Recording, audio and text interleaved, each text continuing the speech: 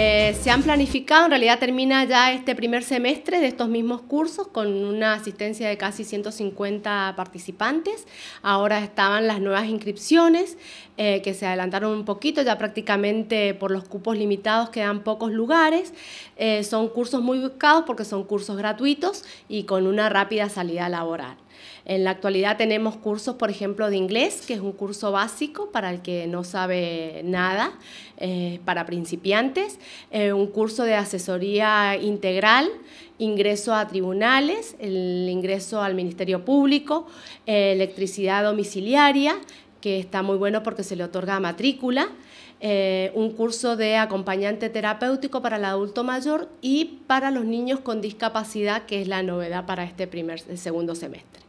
Eh, y a ver qué otro más, el de Abuelos en Acción, que es un curso que nos ha llenado de orgullo, nos han pedido los, los abuelos que están terminando ahora que lo alarguemos un poquito más, eh, pero es un curso... Tiene una característica especial ese curso.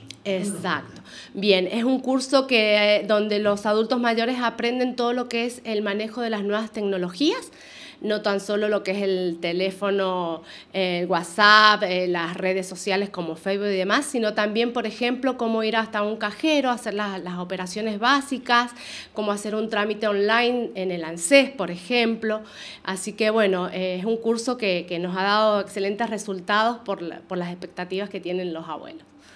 Más o menos los cursos de cuántos, hasta cuántos alumnos puede haber.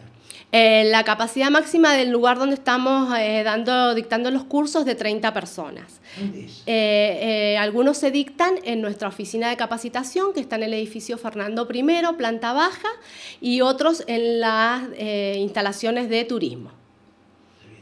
Y, este, y ustedes empiezan los cursos en el segundo ya en el segundo semestre. Eh, sí, ya prácticamente en agosto comenzaría el cursado y las inscripciones se iban a realizar a partir de ahora del primero de julio.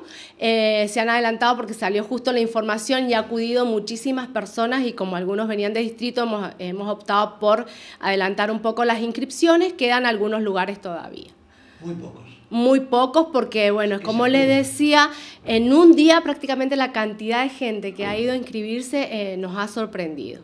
¿Qué debería hacer para inscribirse? ¿Ir personalmente? Personalmente al edificio Fernando I, en horario de mañana es de 10 a 13 horas y de 15 a 19. ¿Acá también puede ser? No, las inscripciones las manejamos únicamente ahí para no cruzar información.